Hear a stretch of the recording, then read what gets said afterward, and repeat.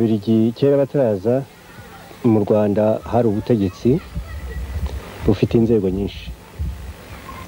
Uwari hejuru y'izo nzego yari umwami. Hakagira abatware eh, ah, no munsi y'abatware hakaba abandi bitwaga ibisonga. Eh, hakaba n'aba- abandi bitwaga abakuru b'imiryango.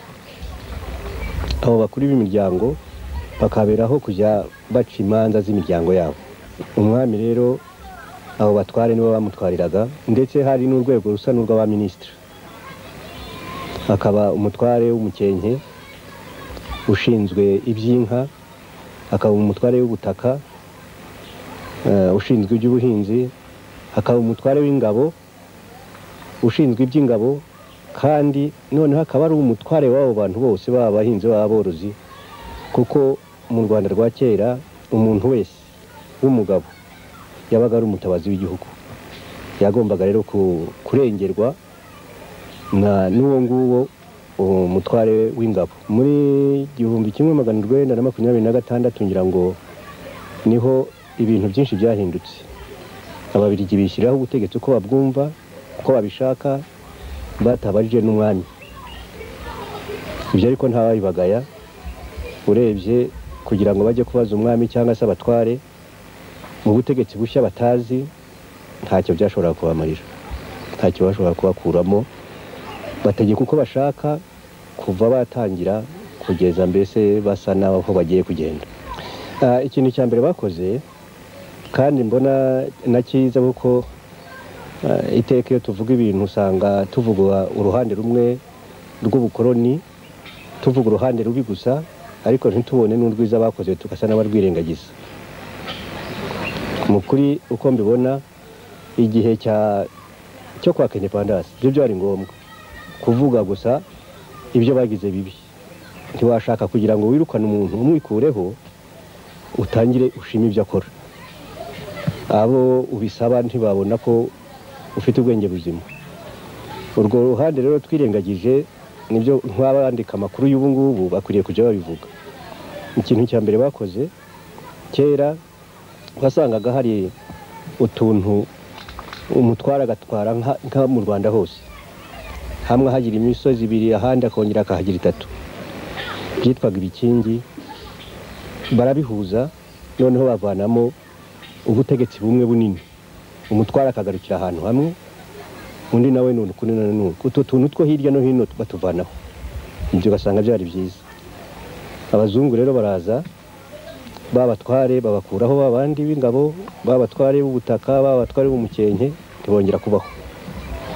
Bashyiraho bitaga abashefu. Akaba ari bo baza bakurikira umwami. Munsi y'abo bashefu bashyiraho bise abasushefu inzego z'ubutegetsi zigagarukira aho ngaho. Icya mbere cyatumye bazisesa ngira ngo babonagamo yuko hari ikintu eh, cyatuma wenda abanyarwanda bazabiganzura. Ariko rero bari babifashijwemo n'amategeko ya titeri Eh, mu mategeko y'uko kuragiza igihugu ikindi gihugu mm, cyaraziraga gufata abasirikari muri icyo gihugu bagiyemo. Urumva rero ababiligi bari bagize imana iryo tegeko ririho si bo bashobora gusaba ko ryavaho. Bararikomeza noneho ingabo z'igihugu ari iz'u rwanda ari iz'u burundi zisimburwa n'abasirikari bizaniye babavana muri kongo kuko kongo y'icyo gihe yari koloni. Nubwo bamaze kubona yuko bazanye ingabo zo hanze kuko nta ntabwo abanyarwanda bagize resistance. Oya nta nta kubyanga nta kubyanga kuko abazungu baza baje nabo ubwabo baca urugomo Mm? Ukoze icyaha agafungwa. Banyonze n'abantu benshi. Banyonze abantu benshi bagiye bica nk'abantu bakabanyonga mu- mujya mwumva inkuru ya, rukara yishe umupadiri banarwana. Nawe wamwishe yishwe umugaragu wa rukara. Umuzungu amaze gukubita rukara hasi uwo mugabo amutera icumu ariko byitirirwa rukara. Ndakeka ko babimwitiriye kubera impamvu ebyiri. Kuko babonaga ko nibica hari umuntu wo hasi ntacyo bizagiraho eh, kugira ngo gikosore umunyarwanda bagerageza kongera gutinyuka umuzungu. Bahitamo kwica umutware w'umwami kuko rukara yari umutware w'umwami. Bamaze guca umwami musinga mm, bahereye ko bamwibuka Eh, babigiyemo cyane ni musenyeri karasi ndetse bakavuga ko icyo gihe bigeze gushaka gushyiraho repubulika ako kanya. Hanyuma musenyeri karasi arababuza. Arababwira ati murihuse Eh, ni bwo batoranije mu bana ba musinga batoranya rudahigwa. Icyo ki- cyo kinyuranye n'icy'abandi bami bamubanjije abami bandi bagiye bashyirwaho n'abiru yimye muri mirongo itatu na rimwe ubwo nari mfite imyaka itatu. Menya ubwenge ari we mwami uri mu rwanda. Aho namuboneye naho ngiriye mu seminari kwiga. Ibintu rero namubonagaho byanashimishaga cyane aho cyane cyane ntangiriye kugira ubwenge bwo gutekereza maze kuva mu bwana ni uko rudahigwa yakundaga igihugu cyane. Eh, iteka yifuza ko u rwanda rwaba urwa mbere muri byose. Yigeze ku wabirebaga nko mu mupira.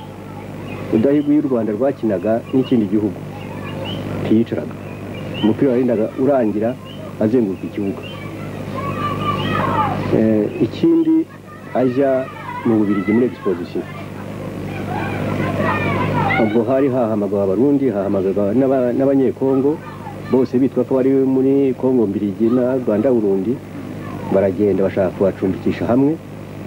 Abantu bari bagiye i burayi ariho bakihagera rudahigwa we mbere yo kubatwara yabashyize ahantu mbese nk'abatezi b'umupira bitegura kujya gutera umupira. Abashyira ahantu bagira za imyitozo y- y'imikino bagombaga kugira ariko ntibyahagararira aho ngaho. Akabigisha n'uko bifata.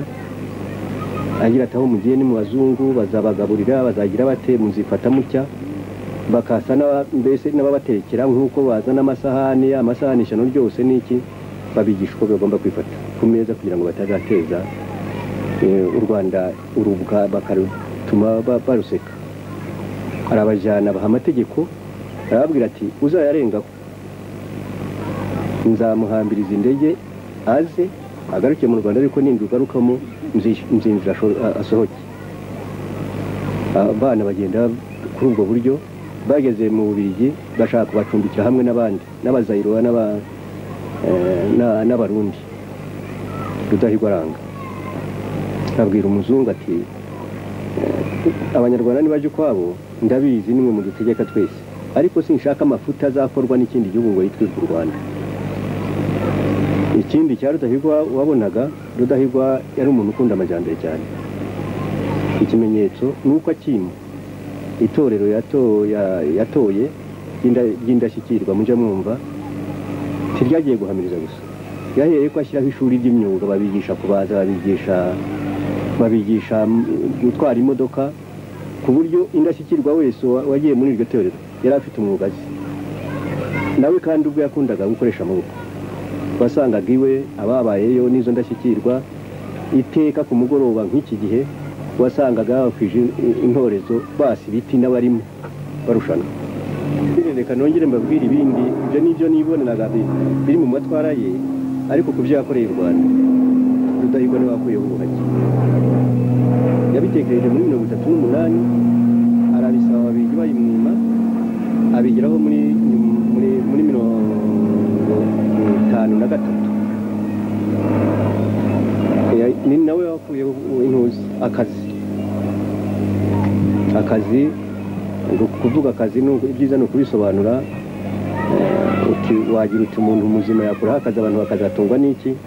Ibyo akazi tuvuga ni byo bita koruve mu gifaransa byari ugukorera Ntu- ntuhembwe kandi ukagenda atari ubishatse babiguhatiye. Eh, rudahigwa nanone ikindi yakuyeho ni ibingibi byo kunena ngo umutware ntasangira ntagira ate? Ubwe i nyanza ateranya abahutu n'abatwa n'abatutsi barasangira ibyo bituruka ku kwemera k'umuntu. Hari benshi nyine babivuga bati bitewe n'ibya politike kugira ngo ashobore abapadiri abiyegereze Eh, hari abandi bavuga yuko yari umukirisitu ukunda imana kandi imana si ubwa mbere mu rwanda twari tuyisanganywe. Eh, twari tuyisanganywe. Na kera umwami iyo yajyaga kwibikira niko babyitaga kuryama ahengereye nko mu masaha munani y'ijoro ibintu byose bimaze kugera mu rugo yuhagiraga u rwanda. Nk'ibi tubona ari amazi y'umugisha. Mm? uwo muhango yarawugiraga iteka ryose. Akuhagira u rwanda akaruvanamo ibibi byarubayemo niko babigiraga ndakeka rero ko yaba yarabigize muri ubwo buryo azi ko umwa- imana iriho akagira ati bwo imana mm, nk'uko umuntu yubaka inzu akayitirira sekuru akagira ate? Ngasanga wenda ko ari cyo cyatumye abigira akafata kiliziya akayitirira kirisitu umwami kandi akashinga kirisitu umwami mu rwanda. Agipfa habayeho ngira ngo mu ruhande rwa leta habayeho uburyo butatu bavuze urwo rupfu. Ari na byo byatumye ahari abanyarwanda babona ko ari bo bamwi- ari- ari bo bamwishe Eh, icya mbere agipfa bavuze ko yishwe ngo n'umutsi wo mu mutwe. Bigeze aho baravuga ngo yazize ibyo bita hemorrhage cerebrale abandi bakavuga ko yazize eh, urushinge bamuteye rwa vaccin ngo ashaka kujya i burayi. Ibyo byo baranabeshyaga urushinge barumuteye yagombaga kujya muri amerika. Hari n'indi verisiyo ya gatatu bavuze ndetse hari n'abavuze yuko ngo yaba yariroze Mm? ibyo byose byagiye bibaho hanyuma rero ukumva abo babivugaga muri leta ntibabivugaga gusa ngo wumve umuzungu kanaka avuze iki undi muzungu kanaka avuze iki byazaga mu kinyamateka cya leta gitangaje Mm? urumva rero kugira ngo abantu umuntu yaguye mu maboko yabo babivuge uburyo butatu bunyuranye ugasanga ibyo bintu wa- wabikekamo ikintu Eh, ikindi rero koko rudahigwa ntacyo yarwaraga niko abantu twese twari tumuzi. Mm? Eh, ikindi iyo myaka ya nyuma umubano we n'ababirigi byagaragaraga yuko eh, ababirigi badafatanije nawe nk'urugero yakuyeho ubuhake. Abinyujije mu buryo bwemewe n'amategeko byasabwe na- ni- n'inama y'igihugu abyohereza mu bujumbura kwa guverineri rudahigwa agiye yagarutse asanga ibintu barabiryamitse babishyizeho akimanuka mu ndege hari i butare ni cyo yabajije cya mbere ati mwamenya akazi karavuyeho batoya. Rudahigwa ako kanya ati kuvuga akazi ndagaciye Mm? maze rero ugasanga utwo tuntu uh, abantu ari two bahereye. Ariko noneho rero aho bivugiwe aho umuntu yashakira. Mu gitabo cya hari ubwe yandika yuko eh, hari ahantu yandika avuga uko abanyarwanda basabye ko ba- basuzuma umurambo we bakareba icyamwishe. Ibyo bita autopsy kugira ngo bamenye icyamwishe rwose. Ha- hari aho rero hari agera akavuga ati tugira imana umugabe kazaranga tugira imana iyo mana bagize n'iyi. Si uko bikekaga ikintu. Icyo ni kimwe. Hari n'ahandi avuga nanone mu iyima rya kigeli. Avuga ko yashatse kubanza kubihagarika. Abyanga. Ati mbyemezwa no kugira ngo ya, dosiye ya autobusi yibagiranye. Hmm? uwo ni hari uwibyiyandikira ubu. Umuzungu witwa Regency twanditse igitabo cyitwa droit. Yigeze kuza mu rwanda bamubwira ibintu. Eh, bamubwira ibintu agenda baza kugeza kuri urwo rupfu rwa rudahigwa arahava ajya i- i- Nairobi muri kenya asangayo kigeri amubaza nawe icyo abitekerezaho asanga abayunari bari barahahungiye nabo arababaza na barukeba bamubwira uko babyumva uwo arandika ati nasanze binyuranye. Mu rwanda bo bavuga ko yazize urupfu rusanzwe abandi bavuga ko yishwe n'ababirigi ati noneho ushaka kugira, ngo umenye ukuri. Njya kubaza muganga. Wari umuganga we wamuvuraga. Ati ingenzi we mbimubajije ati yanga kugira icyo asubiza. Kwanga rero kugira icyo amusubiza simbona ko ari ibanga ry'umuganga yatinye. Nibura. Niyo hatamubwira ati yazize indwara iyi n'iyi. Aba yaramubwira ati yazize uru- urupfu rusanzwe. Kuba atabivuze rero ndakeka ko umutima we ari byo mu gifaransa bita conscience. Yamubujije kubeshya. Kuko iyo ingabo zigumaho. Ingabo icyakora nanone byaterwa n'uzazitegeka. Iyo zibaho ariko zikahabwa ababirigi bashoboraga kuzikoresha icyo bakoresheje abanyekongo ariko iyo zibaho zikaba ingabo z'ibwami nk'uko byahoze zikaba ingabo z'igihugu. Kuko biriya bintu ntibiba byarashoboye kuba. Revolisiyo ni ukuri. Tu- tu- tu- tuvanyeho ibyo bya independence tubishyize ukwabyo. Revolisiyo yari ikwiriye kuba. Kuko hari abahutu bo bose utavanyemo n'umwe. Bari barabujijwe imyanya kandi babishoboye. Baranabyerekanye ku ngoma za mbere. Ko bari babishoboye.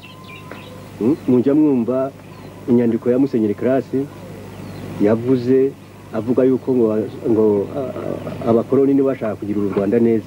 Ngo nibakoresha abatutsi n'abafite ubwenge eh, bwo kubumva.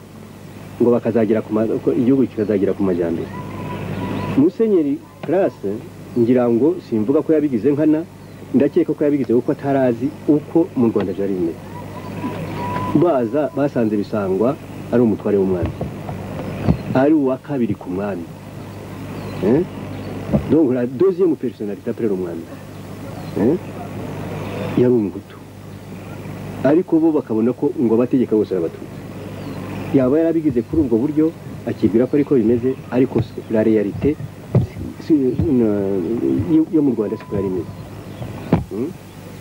sinjya kumutiza ibitekerezo ngo ngire ngo yabigiriye kugira ngo azateranye ariko eh, ureba ni aho ngaho byaturutse. Banyaga abahutu bose. Mm?